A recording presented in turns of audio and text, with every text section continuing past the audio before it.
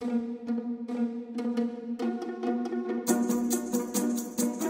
My favorite study spot on campus is the Hatcher Graduate Library. Although the name does have the word graduate in it, this library is no way limited to just graduate students on campus. I personally like this library because it has a lot of different study environments. So first of all, if you are working on a group project or presentation, you can go to the tables in the basement and work on that collaborative work. In addition, if you want to be a little quieter, you can go over to the reference room, also known as the ref room, which is a large room with long tables, high ceilings, and natural sunlight, and it's a great place to study. And in addition, the Hatcher Graduate Library also has multiple floors of cubicles.